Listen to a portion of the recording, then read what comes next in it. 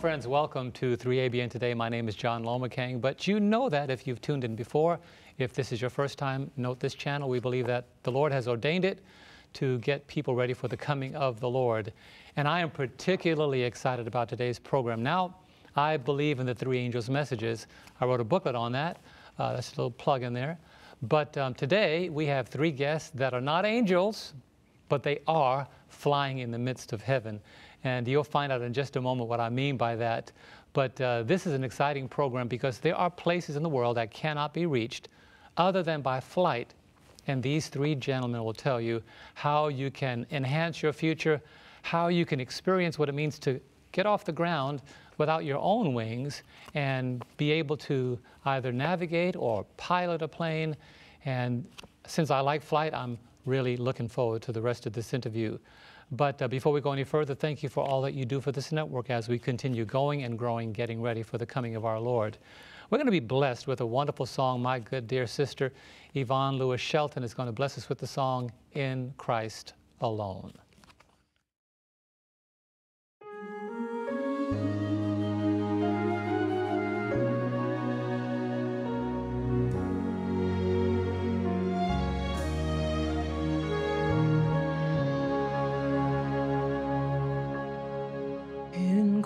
Christ alone, my hope is found. He is my light, my strength, my song. This cornerstone, this solid ground, firm through the fiercest drought and storm. What heights of love, what depths of peace, when the fears are stilled and striving cease. My comforter, my all in all, here in the love of Christ I stand.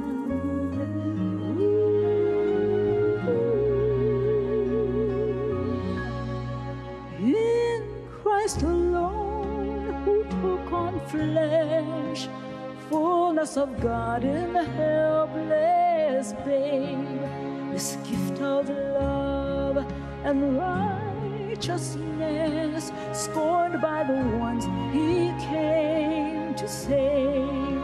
To on that cross as Jesus died, the wrath of God was satisfied.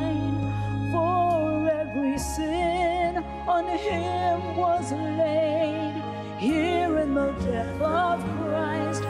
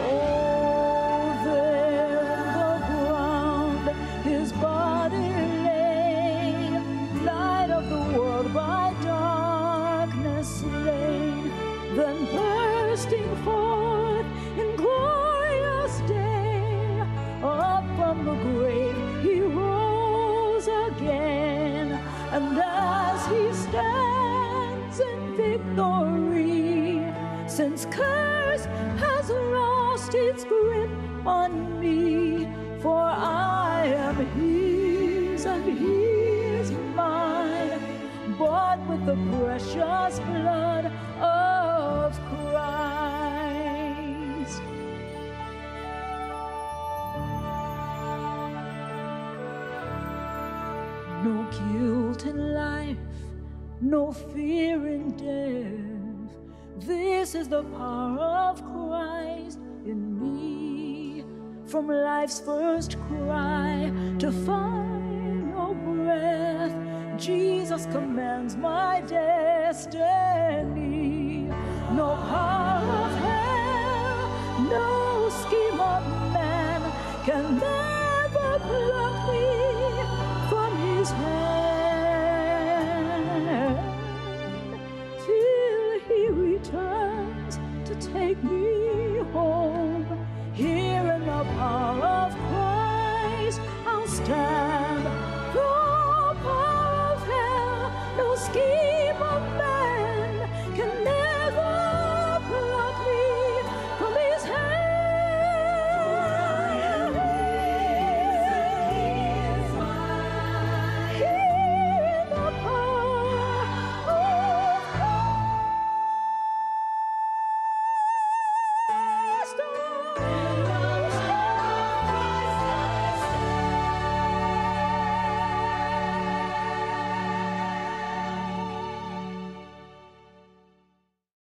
Thank you so much for that song, Yvonne. I appreciate that. Now, let me take the time to introduce our guest today. To my immediate right is David McCumber. Am I saying that correctly? Maycumber. See, you got to throw that accent at me. Sorry. but hey, good to have you here, David. Welcome to 3ABN. Thank you. And briefly tell our viewers and listeners what your role is at the Andrews University Department of Aviation. Well, so I teach at the uni- or at the university. Um, I teach on the flight side, so I'm preparing our students for all the knowledge that they need to know, as well as checking them when they are going through flight training to make sure that they're learning everything they need to know um, as they as they progress in their career. Understanding all the things that pertain to aviation. All the switches, everything that's going on in the back of the airplane, everything that's going on in the pilot's mind. Um, there's a lot to it, so Wow, we're gonna- need to check them and make sure. We're going to dive into some of those details. I love flight. And Jonathan Larson, good to have you here today. Thank you. And tell our viewers and listeners what you do as, as it pertains to the aviation program. I'm the director of maintenance, so we do all of our own maintenance for the airplanes in-house. So every 100 flight hours and every annual, I can take the airplane apart, take all the inspection panels off and the seats out, and make sure the things that are supposed to move still move, and those that aren't supposed to move aren't moving. So we uh, we make sure the airplanes are safe and, and good to go for the students. That is important to know because when you are clear for takeoff, it's good to know you'll be able to come back. Yes. Thank you. Good to have you here, Jonathan. And um, Assistant Professor Jeremy Alexander, good to have you here today. Thank you very much, Pastor. Once again, uh, Jeremy Alexander. I uh, work alongside these two quality gentlemen here. Um, they help uh, keep me in check. They also teach me a lot, and so uh, it's a privilege to work with them. I uh, once again I teach classes along with uh, giving flight instruction. Uh, soon enough, I'll be in the same position as David as the assistant chief flight instructor, and I'll also be able to give checks as well. Okay. But in the meantime, I'm happy uh, learning the process. Okay, good.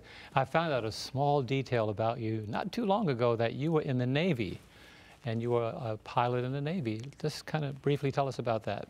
That is correct. Uh, I was a carrier qualified Navy pilot um, for the period of about four and a half years. It's certainly a tremendous experience, and I learned a lot from that. And I'll probably share a bit more about that too um, as, as the interview goes on. Okay. Um, but uh, yeah, quite an experience. So you've taken off and landed on an aircraft carrier. That is correct. Did they stabilize the ocean to make it, that make it easier? oh, that would certainly be nice, but you know, you don't always get that privilege. wow, I've seen that in uh, outside of a nice, safe flight simulator.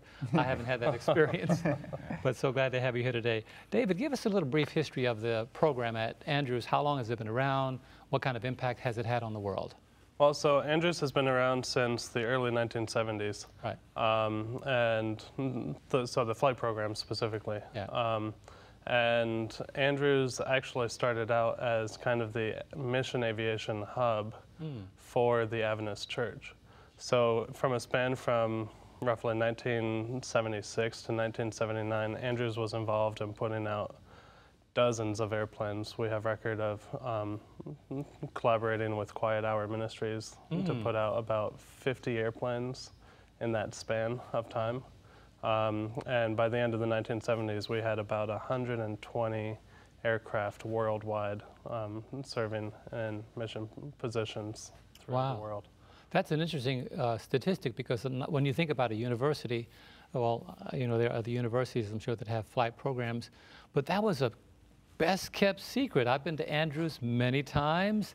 I've seen the baseball field, I've seen uh, so much of the campus, but I never knew they were hiding a flight school behind the little bakery. That it wasn't rare. But it's a very interesting program. And uh, how do you, how long have you been involved in the program? So I've been at the um, involved with the program since early 2018. Okay. Um, so I am involved with it. Before that, I was a mission pilot in Chad, Africa. Um, and I actually came and did a program here with 3ABN um, before talking about that project. And now God has guided me and brought me to Andrews. And so it's, it's a privilege to be involved with it. Wow, wow, that's wonderful. And uh, that's interesting to see that the school offers that kind of curriculum. Uh, how many students practically, right? Uh, Jonathan, do you know, or even Jeremy, what kind of student base do you have at, that's interested in this kind of program? At Andrews, we have a flight program and a maintenance program. So we've got about a dozen students in the maintenance program and about 30 or 40 students in the flight program. And are there any that do both programs? Because- Absolutely, Okay, because yeah. if you're flight, do you want to know how your plane is working? Yeah, you know, so uh, those that are interested, we highly recommend having both, and then you're a well-rounded, uh, complete individual ready for the industry. That's good. And, and, and um, We even have scholarships for those that choose to do both, just because we encourage it so much. That's right. I like that because it does cost. It's not like a regular curriculum. Just give us, and we're going to talk about some of the funding and scholarships that can go along with helping this kind of program go on. But just give us an idea of what it costs like that, a four-year program for a flight, including flight hours and the use of the plane, generally. So, in general terms, right now we're sitting at about the cost of tuition for Andrews plus $65,000. Okay, And that brings you from zero experience all the way until you can start teaching other people how to fly in an aircraft. that's good because that's what you want to be able to do. That's right. And that includes flight experience, landing and takeoff. Flight experience, landing, takeoff, um, and Solo. everything in between. Yep. We even train you into how to fly in a crew type environment, Mm. um, preparing you for the airlines. And um, we have a letter of authorization from the FAA that allows our graduates to go to the airlines in a in a thousand hours rather than 1500 which is the current regular requirement for Mm. anybody going through flight training So that's so that's saying that the the training is very extensive. Yeah, because, because of uh, the airplanes that we have, because of our maintenance, because of our teachers, because of our curriculum, all of that comes together in a complete package. And because it's more complete and more thorough than just going and flying your own airplane for 1,500 hours, the FAA says that you get better training if you come through our curriculum. Did you hear that? Better training, flight instruction, as well as maintenance at Andrews University. When you talk about 500 hours less by going through this program, that's cost effective. that's right And that's a lot of, I mean, that 500 hours is 500 hours. When you talk about renting a plane to get 500 hours or going to get 500 hours training or whatever the case may be, when you put that together, because you've been on a- an aircraft carrier, uh, talk about the maintenance. I mean, you're talking about the United States Navy. Those guys that, when that plane takes off, how critical is the maintenance of an airplane? Oh, it's it's incredibly critical. Uh, the the components they just they they really can't fail. You know, they, they have to work. yeah, because otherwise you're going to find yourself going for a swim or or uh, having to unfortunately punch out, which is not not a fun as, aspect of flying. Right. Right. Yeah. And punch out is not a physical act, but No, I'm sorry. Eject out of the airplane. Right, you said- okay, Yeah, good. thank you. I want to clarify that because I knew what you meant, but you know, somebody might say, why would they hit the flight instructor? you can't exactly pull off on the side of the road and fix your broken tire you've got to know how to handle everything that comes That's right. So you are very particular, uh, Jonathan, about what you approve. That's right. Yeah. Yeah, so uh, at the end of the end of my inspections, I have a logbook entry and I put my name on it. And if something happens, the FAA is coming and asking me questions. So yeah, I mean everything I do, I have to be very particular and very specific about to make sure that it's 100% top notch, ready to go every Yeah. time. And the reason I, the reason I'm approaching this so early in the program is this: that, uh, you know, you hear about accidents whether it's a single engine plane or whether it's a commercial jet, FAA is involved at every level. Yes. That's right. And Let's see what happened. Like, uh, heard about uh, some planes that had collided in uh, uh, Alaska, and you know the unfortunate incident there. Uh, that was just pretty commercial, taking people to see the mountains and the things, and and so those small little details is the difference between life and death. Yep. So there's nothing that you can overlook. Yep. So we've got one of our airplanes is from 1959, and it's still flying because we do maintenance. I mean, how many cars are on the road from 1959? That's true. Um, but we just inspect them all the time and make sure that they're all up. And if anything is is even looking like it's starting to go, we replace it and make sure it's it's safe. Yeah, and I'm a little bit more detailed in flight than many of the regular talk show hosts because I, I like to fly too, but do not ask me to fly you in my plane. I don't have one unless you want to be in a model airplane. but um, so you know about the fail, like how long this piece of equipment should be in a plane. It shouldn't go beyond these hours and all Yep. that kind of thing. Yeah. Good, good. But now give us some more, talk about some of your missions, because each one of you has been involved in some type of mission. Talk about some of these missions that you've been involved in. Well, you know, the interesting thing about, uh, about being a pilot is uh, we happen to have a very unique perspective being in the air. And also, uh, just as it happens to be in Revelation 14:6, it talks about, I saw another angel flying in the midst of heaven, uh, proclaiming the gospel to those that dwell upon the earth. And so, uh, like you said, we may not be angels, but we do have the opportunity to spread the gospel, and we can use flight to do that. Uh, there is a man by the name of Dick Hall.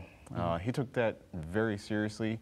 Back in 1957, he was a pastor missionary to, uh, um, think it was the Hmong people in the country of Laos. Uh, he helped build the church there, was actually the first Adventist presence in that country. And because of his energy, the effort he put forth, there are people, I mean, a whole nation group, in fact, um, in the Adventist church who would not have been had he not been able to do that. And it was all because he was able to fly, which is pretty awesome. And it shows how important it can be for us. And this also it also has an impact to you too because you had somewhat of a conversion experience. I uh, did. when you were involved in the Navy. Tell tell us about that. Well, very, I'll try to keep it as short as possible, but uh, I did have a conversion experience then. I had always been searching, trying to learn Bible truth, and I'd, I'd been to several different churches, you know, I won't name denominations, but I, I wasn't afraid to ask questions, and so that's what I did. And as I would read the Bible, I kept on seeing things about the Sabbath, you know, and I was like, well, I, I think that's more of a legalistic thing that doesn't apply to us now. And I asked my pastors, and I got like three different answers from all of them. And so I decided, well, I'm just going to research it myself. It can't hurt, you know, I'm supposed to know the Bible for myself. And so I did. And the more I read the Bible, the more I realized that perhaps I wasn't as right as I thought I was, that the Bible actually talks about the Sabbath, and the Sabbath still applies today. And um, that just it changed my, my perspective on things, actually. Um, and in fact, uh, while I was in the Navy, I, I would have to say that it, it probably led me to desire a different lifestyle than, I, than I had then. And according to my own personal convictions, I felt that it was time for me to, to go elsewhere, and God miraculously worked it out so that I could do that and actually learn and cement my faith more. It was beautiful. Yeah. That was interesting, and that was as you were transitioning out of the military, Correct. because the Lord had another direction for you You did. uh, that you were not aware of, but you know, those little taps on the on the heart's door made a difference. He, so to speak, navigated you. He did. yes. He became the the the uh, the, the the lead pilot. He was the lead pilot. Okay. I was his wingman. Yeah. Good, you were wing. Wow, that's that's interesting. But now you talked about missions. Uh, share some more about missions because uh, missions could be uh, in various parts of the world, but in various aspects. And how does flight play a role in missions? Well, I think one of the big things with flight and missions, you know, you think about the the quintessential mission pilot who's flying into these remote, unimproved strips and dropping off Bible workers or construction materials to build a church and stuff like that. And that is definitely a, a very necessary part. But being a mission pilot, you also have the opportunity to reach others who may not necessarily have the contact that you would need. For instance, you're meeting with the civil aviation authorities in that country. Um, you're meeting with other missionary families. So, um, one story that I have from that is I was working, when I was in Africa, I had the opportunity to share uh, um, an understanding of the state of the dead with another missionary, mission pilot who was there. He was working with one of the evangelical groups. And, you know, it, God sorted it out so that we were able to, to talk about this subject. And, you know, we just opened up a discussion and we're like, okay, so you believe this, why do you believe that? Mm-hmm. And, well, you know, I was able to sit down with them and have lunch and talk through it. And we were saying, you know, like, the, how can the soul be eternal? It, it says an eternally burning fire, but fire can only burn as long as there's wood to burn. That's right. And so, bringing these truths and these principles, it was being able to reach him at a spot where he was supposed to be serving and he was supposed to be ministering. But it, God gave me that opportunity to, to reach him, and I don't think anybody else would have been able to reach him in the same way at that same moment. Right, because being a, being a pilot, him being also involved in the same thing, That's right. brought you to a point, an intersection that is. Uh, that, that's, that's really good. And it makes a difference what people believe. And I, I think about flight in this respect. And if you compare flight and, and uh, spirituality or the Bible together, uh, details matter. Jonathan, do details matter? Absolutely. Okay. you said, that's a small detail. It's just a small crack. Not a big issue right now. Be okay. It's used for maybe 10 or 12 more flights. I mean, who knows? details matter. Details matter. They, they make a difference. But you also um, I had an experience uh, to touch a person's life uh, when an unfortunate experience happened with somebody that you were able to get in touch with. Talk about that. Yeah, so the Lord has blessed me, and, and a lot of my uh, ministering opportunities have been more uh, friendship evangelism. And so right after I got out of A&P school, I was in a shop where we were painting airplanes. And one of my coworkers, uh, I was there for about a year and a half, and uh, it was a secular shop. And uh, you know, being a Christian in a secular shop, it was difficult in a lot of circumstances. But you know, I, I chose to remain faithful, and my conversation and the way I interacted with uh, my coworkers was very intentional. And uh, so while I was there, one of my coworkers, his daughter was born, but she was born with a heart defect. And a couple of months later, she went away. She, she passed away. It was very unfortunate.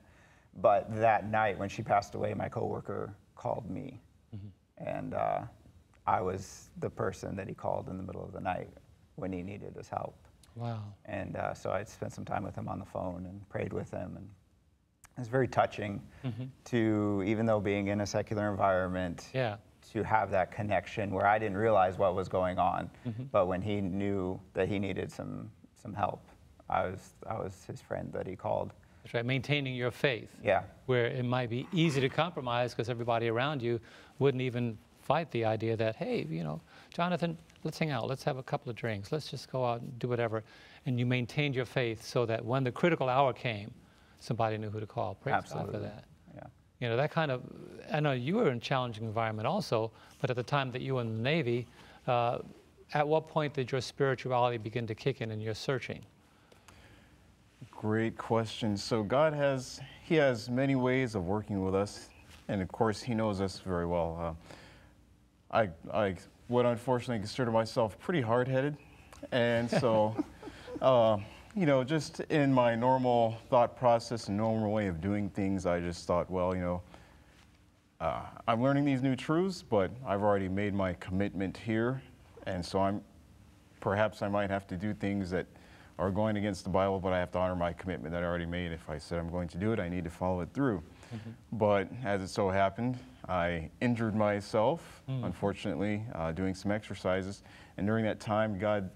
God just really spoke to my heart. I wasn't flying. I had more time to read and understand and study uh, Bible truths, and He happened to take me to a uh, church that was very nurturing. And so by the time everything was all said and done, I was so much more solid in my faith. And, uh, you know, it was it was certainly challenging because let's just say that people weren't very supportive of my conversion. How about that? And uh, in the military, even if you do want to stand for what you believe in, the mission comes first. Wow. That's you right.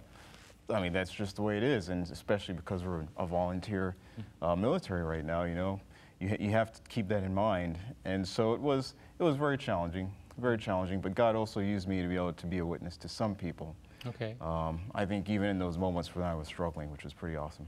he could still he could still find you know this it's, uh, whether you are a full burning fire or a coal there's still a flame there Yeah. and that's the beautiful thing there's some light coming now i want to i want to kind of show this video we have uh, because we brought some footage here to kind of give some people an idea and after the video we'll comment on what they saw.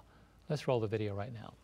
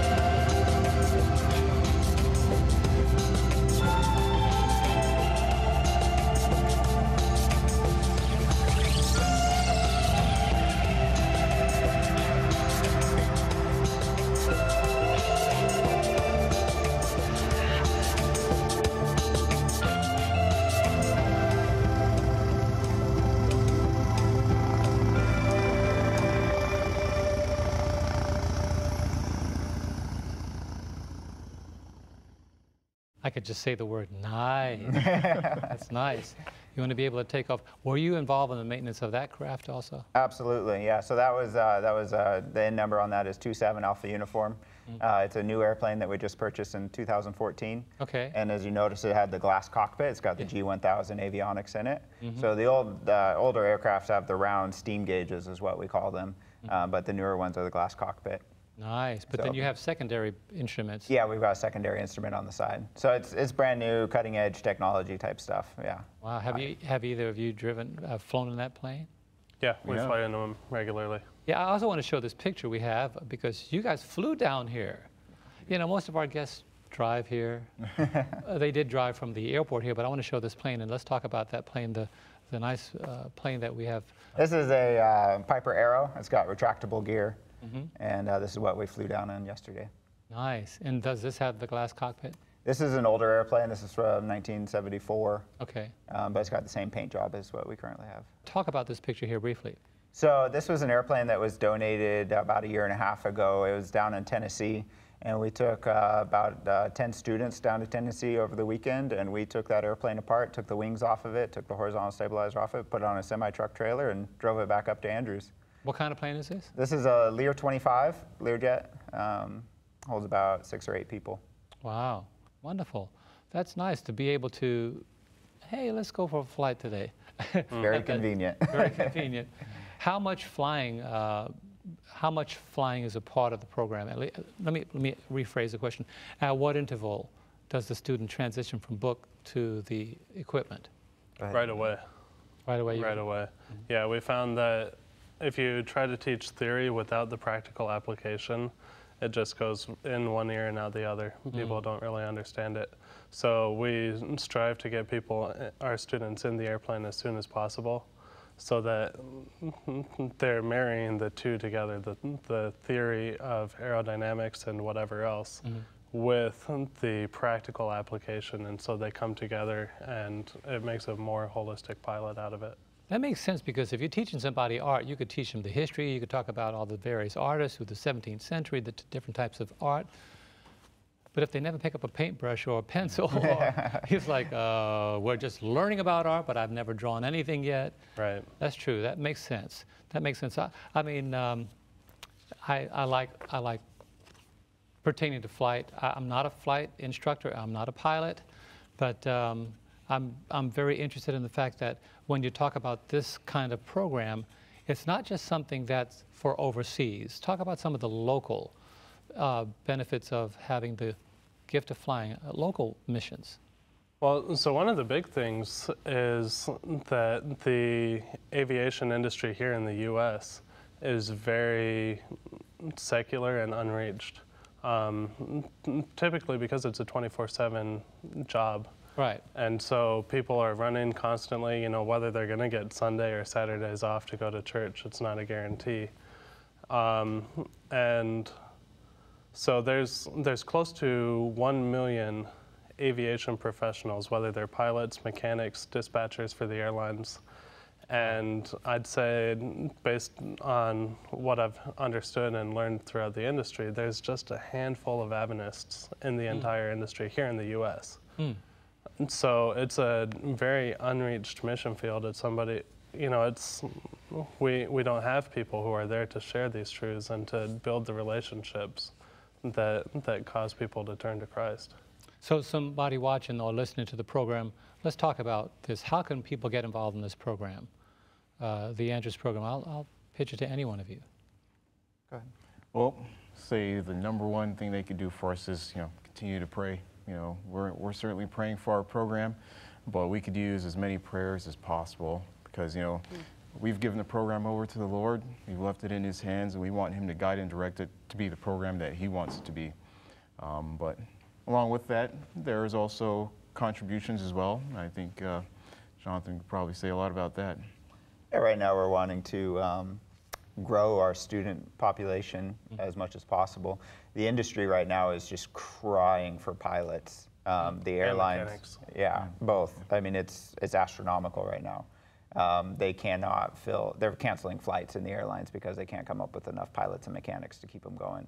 Wow. And so the whole industry, because of the top industry needs pilots and mechanics, the, everybody underneath also needs pilots and mechanics. And so what used to take 12 years to go to the majors is now taking like five. and the pay is almost doubled in some of the industries. So they're trying to really uh, uh, appeal to the people to get in, involved in the industry because Yeah. so the demand is high. The demand is high. Right. So we're trying to train professional pilots to fill those roles, but not just professional pilots, but individuals that are passionate about Jesus Christ. And so uh, we're trying to double the amount of students that we're putting through our program. So with that, we need more airplanes. We need to uh, do some infrastructure upgrade. We want to put in a parallel taxiway and some stuff like that to make it uh, make everything flow a lot better. Okay. So your taxing is on the strip itself. Right now, yeah, right now we have to back taxi. So if somebody's taxiing, you can't land. So, Okay. that- so that would be able to double the amount of flights that we could get out of there. So let's let's start mentioning some. What does something like that cost to put in? Just generally, I, we- you know. Uh, parallel taxiway, we were looking at, what was it, fifty thousand dollars? Uh, I think it was more than that. Oh, I think Because it's asphalt, it has to Yeah. be regulations, all that. Yeah, yeah. Um, the two new Archers that we purchased, those were 200 grand plus, almost 300 grand, three- 350. 350 plus. Three hundred and fifty. So for a brand new airplane, it's not cheap. No, no. But the amount of pilots that we can push through with that single airplane, um, you know, we can take four or five flights a day with a single airplane. Uh, we can push 10 students through a week. So, so each airplane is a massive asset. and how many do you have in the fleet right now? Is it about five? Right now, we're, we're working with five uh, Piper low wing aircraft that we're flying currently. Yeah, we'd like more. Um, and honestly, put in more aircraft that are the exact same type mm-hmm. maximizes our potential because we can have rolling over. So right now, if one of the airplanes goes goes down for maintenance, mm-hmm. n- now we have one less aircraft, and so the amount of flying that's able to happen becomes reduced because we, we just don't have the airplane. Wow. And so by, by having additional aircraft that are all of the same type, you know, if one goes down, all right, well, here, we'll just adjust the schedule and fit these guys who were going to fly in that airplane into the existing schedule for the other aircraft. now, I know there's a certain age to drive. What is the age introduction into flight? So I know most mothers would not want to hear this, but you can be you can solo at age 14. but that's how safe our training is and how safe the airplanes are. Wow. Um, is that we can do it at a much younger age. Wow. You got to be 16 to get have your to be- private license, Yeah. so you can solo at 14. So when did flight become a, uh, an interest of yours, uh, Professor? Uh, for me, that happened when I was probably five or six years old. I grew up in Dallas, Texas, and uh, lived right underneath the uh, approach path for a lot of the aircraft going in DFW. So for me, Oh, wow. You know, it was, it was from an early age. I knew that that's what I wanted to do. Hmm. Yeah, and uh, just continued from there. That's a unique place. Uh, my wife and I uh, think of the places like St. Martin in the Caribbean, Oh, yeah. where the beach is right in the approach path. Oh yeah. You know, people, it's almost uh, uh, uh, an attraction. That's if right. people go to St. Martin, you know, they, they see these 747s or big commercial planes diving in just, you know, feet above the sand to land, and then also take off, but not toward the ocean. Very interesting Mm-hmm. thing. So at an early age, you kind of get the idea that uh, this is what I want to do for my life. And then, you, did you include that in your later years, or you read books and? Oh yeah. I just once again I I got myself into it as much as I could. I attended camps, things like that. And the more I read, the more I thought, man, it would be really cool to be an astronaut. So I thought, well, let's, what do I have to do to be an astronaut? Uh, it looks like the astronaut corps, they like Navy pilots, so maybe I should become a Navy pilot. And I thought, well, so what, where's the best place to go? Uh, maybe I should, should go to the Naval Academy. And so I put in my paperwork and, you know, they accepted me to the Naval Academy. And so I, I just did all I could to put myself in a position to pursue that dream. Okay. And then, you know, once again, once I met God, he had, he had different, a different direction, which, which has been even better. Yeah, Yeah, I, I guess your favorite hymn is "I'll Fly Away." See that.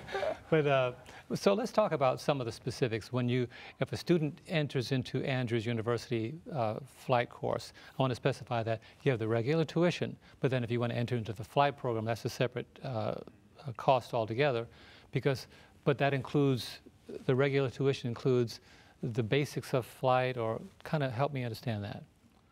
Yeah, so the, the cost of the airplane is really the, the major factor that adds to it. Okay, Um, ultimately, flying costs money, right. and unfortunately, aviation is, is a, a high expense um, ticket item. But initially, they're, they're getting training in the airplane, flying their private pilot license. And so they have to do the flight training, they have to pay the, the flight instructor for that time. Um, and then we transition them to an instrument rating, which is training students how to fly through the clouds, how to understand navigational charts, so that we can follow navigational systems and, and you can make an approach and landing without ever seeing outside. Now that's, I like that. It's, it's a lot of fun, especially when you get right down to the bare minimum altitude that you can fly to, and you're just coming out of the clouds right when you hit it. I'm one of those guys that I could hear very well. My wife and I, because of our mileage, we get a chance to sit in first class, and sometimes I could hear through the door, minimums, minimums, minimums. and I know on approach what that means. Yeah. That means if you're going to decide to keep going or go around, this is the time to do it. Right. You know, um, and- but it's really interesting. What else would you say, as you as people are listening to the program, what would you say to those who are uh, trying to decide is this what it is for me? Is this for uh, girls and guys? Uh, you know, is this something that, uh, what would you say to attract somebody that may be thinking, what do I want to do for my future? For me, aviation uh, maintenance, I got in the maintenance program. Um, I needed to do something with my hands. Okay. Uh, so, so that's how I, I went with the, the maintenance side of it. But it's a very rewarding career. It's a very professional career. It's a very clean career. Um, you got to be very honest. You got to have a strong character. You know, if you mess up something, you got to be honest about it and let other people know, and you double check each other. Um, I double check the guys that are working with me, and they double check me. It's just the way that we do things. You know, these guys are flying yesterday, and they double check each other even now. It's just how we roll. That's just how aviation works. Um, That's how we fly. You. that's how we fly. That's right. so um, yeah, it's for guys and girls. Uh, there's specific programs for females that are involved in aviation, um, both in the maintenance side and the the flight side. Um, we've had a number of female students that have come through the program, so we definitely welcome them as well. Because I've seen a lot of female commercial pilots. Yeah. And they're more entering the industry flying large equipment, you know. And uh, some people think, well, isn't it tougher to fly a larger, the larger? Well, the, you know, the principle is the same, aviation principle. Uh, let's talk about those. I I asked you before the program the language that they use to communicate Alpha, Bravo, Kilo, you know, sure. Romeo. Where did that come from? Well, so it came from um, back in the day in the World War II. We had fundamental radios that were hard to understand. And so when they were trying to communicate the different needs or the different coordinates or whatever it may be, they found that some words sounded like others, like three. I- three um, became tree because the th of, of um, the th wouldn't come through on the radio. Mm. And, you know, nine became niner because the German word for no is nein. And so they took niner and made it that way so that it wouldn't be confused with The word no. the word no. Wow, that's interesting. I never thought about And there's so there's a lot of elements of it. You've got Alpha, Bravo, Charlie, the phonetic alphabet, Mm-hmm. um, and they're very intentional to make sure that those words don't sound like, you know, if you say C, it could be D, it could be E, it could be G. That's right. Over the radio, we're not sure what you said. And so now if we say Charlie, Delta, Echo, Golf, Right. it, it's very clearly different. I like that CDEF. I mean, that makes a lot of se- lot of sense. And it's a language that sounds funny sometimes, but when you want to be clear, I like what you pointed out, the honesty needed. Because if a pilot just says, "Oh, I messed up again. I don't want anyone to know," the plane is ready to go. that could be the difference between somebody's life and death. Absolutely. So you might say, "You know what? Wait, wait, wait. I'm not done yet. I need to get this switch put in." Yep. Do, can I fly without it? No, you're not going to fly without it. Yeah. So that kind of really pulls you into that perspective. And being a professor now, you're dealing with the students teaching. Talk about some of that curriculum approach. Uh, it's actually a very, uh, very awesome process to be a part of. Uh, you know, once again, I'm pretty new here, just six months under my belt here at Andrews. Okay. But I've come to learn and appreciate that uh, the way we do things is very systematic and it's very well thought out. And of course, there's always room for improvement, but I'd say we have a, a pretty strong program, which is awesome. Um, coming from a military background, even charter background, I love the systematic approach because, you know, for me, there's there's safety in that. You know, it's like uh, I don't know. Yeah, like I said, just safety in that, and so it's it's pretty awesome. I'd say the way we are we are creating the curriculum for the students, we're just giving them some nice building blocks at the beginning, and so by the time they get to their junior and senior year, they they have what they need to be able to give it back to the students that are coming up behind them, which is pretty cool. You know, somebody might be watching this program from a warm country. They have no clue where Andrews University is. Give a general location. Give, a, give us some specifics as to, in America, where would Andrews University be located? Uh, Andrews is in the north of the country. It's in Michigan. Um, On the East Coast. It's yeah, more towards the east coast, kind of in the central. Uh, if you look at the Great Lakes region of the U.S., um, Michigan is literally sitting in the middle of all the Great Lakes. Wow. So Michigan kind of looks, they say, it kind of looks like a, a hand or a mitten. Okay. And Andrews is the very southwest corner. We're just north of Indi- or Indiana. South Bend, Indiana. Okay. Now, there's a text in the Bible says, "Pray that your flight be not in the winter." is that true in Andrews? Yes. get pretty the cold. winter slows us down quite a bit, and so we have simulators, and we focus a lot of our flight training in the winter in the simulator. Now, the reason I mention that is because when you go to Andrews, you have to pray for the sun. You know, you say goodbye to it when the summer is on its way out. and you say, well, we have four more months before the sun shows up again. so you do, you continue training, but in simulators. Right, we do simulators on our fair weather days. We do go out and we fly. Well, we might have a little bit of snow on the runway that it's plowed, but it's, it's snow.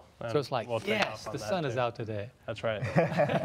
So we take advantage of it. Um, you know, it gives you cold weather environments that you get to learn how to fly in. You know, depending on how the wind is. So it does make for a better pilot. You get a more well-rounded experience. Yeah, it how to take care of your airplane and everything else. Yeah. They say if you can land at Andrews, you're good anywhere. What length of the runway is it? Whether It's about 4,300 feet. Okay, that's, that's good. And uh, any specific you want to add to that about the, anything else- else you want to add to what was just commented on?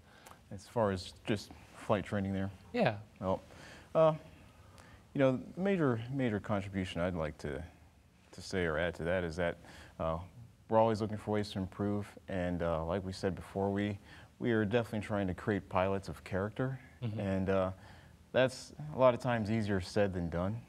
And so we we are finding that um, the more we are closer to God, the more we can give to our to our students. So we always covet your prayers for that. And um, the other thing we wanted to talk about is that we do have students that come through occasionally who are interested in going to the mission field, and we just want to support them 100% as much as possible. Uh, give them the best the best uh, stepping stone, right, Right. to succeed. And a lot of times it's difficult for them to get past some of the financial obligations that come with flight training in order Yeah. to go to the mission field. And so I'd say that's one of our, our big needs too. Okay. Is, you know, we, we do have a mission fund and um, it's, it's at a certain level that we, we feel could, could be better in order to help support, support that, that aspect of our, of our training. Good, we're going to talk about that, how, how people that are watching and listening can donate to that.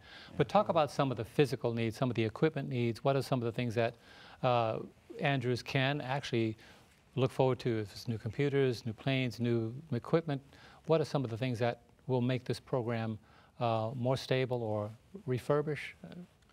One of the big things is our, our need for new airplanes. Uh, we have two very nice, brand new 2014 built uh, airplanes. And we need to have comparable airplanes that are also available so we can hand off. You know, like I said, if one goes down for maintenance, now that slows down the entire program um, because we only have 2 And so if we have three or four of these types of aircraft, now our availability, if one of the maintenance items comes up, everyone is still able to fly and continue flying. Um, so that's one of our big needs. Another need that we will um, hit very soon when we start getting more students is larger facilities and Okay. being able to have a larger classrooms, um, more office space for our flight instructors to do their flight instruction training on the ground, um, and the the parallel taxiway that opens up our capacity. That will almost triple the amount of flight flights that we can accomplish in a day. Yeah, that parallel taxiway is not an understatement by any means because, No. you know, right now, if you if you think about it this way, if this is the runway, you're you, you- this is where you want to take off or land. If there's no parallel taxiway, you're kind of going up and down, up and down, and you can't take off and land while somebody's taxiing, which is a very important thing. Any other equipment? What about maintenance equipment? Anything like that needed or? No, we. Uh, I mean, eventually facilities. If we get more more airplanes, we're definitely going to need to to have a bigger facility to be able to to maintain them all. Um, and that's all just growing pains and just part of the process of making it happen. Um, but we're. I mean. We're an international school. We're prepared to take students from all over the world. Right. Um, Andrews, their claim to fame is that we're the most internationally diverse, ethnically diverse university in North America. Wow. So we know how to handle visas. We know how to handle all that kind of stuff. So we're we're willing and ready to take students. And so that's another big thing we need. We just need people to come. That's right. we're passionate about aviation. We're passionate about sharing Jesus. Mm-hmm. Uh, we just need people to, to do it with us. And and this is a yes. Oh, and I was going to say one of the advantages of having the common aircraft fleet is that if something goes wrong, now because we all have we're flying the same airplane, we can already have parts available and we can already have pieces and components of the aircraft available so we don't have to order it out and wait for a week for it to be shipped from wherever. Hmm. Jonathan can have it on on the shelf and just pull it out, put it on the airplane, and get it out that same day if need be. That does, uni- uniformity is important. It makes it. It'll make a big difference in the operations. That's why, is the Blue Angels Navy? They are. I thought so. Those kind of pilots, you can't trust them to any other branch of the military but the Navy. I'm just putting it in plug. But uh, I want to be able to give you some information to get in touch with uh, uh, David, Jonathan, and Jeremy, and, and also to find out more about this aviation program. As you can tell, I'm excited about it, but uh, you may want to find out what your student prospectively would uh, want to be able to uh, do to get to enroll in this program for the maybe upcoming semester. Here is the information that you're going to need. If you are interested in a flying career, or if the Lord has impressed you to be a missionary pilot, then check out the Andrews University Department of Aviation and their flight, maintenance, and missionary pilot programs. Their website is andrews.edu/aviation. That's andrews.edu/aviation. You may also call them at 269 471 3120. If you prefer, you may also write to them at Andrews University Department of Aviation, 3898 Griggs Avenue, Berrien Springs, Michigan 49104.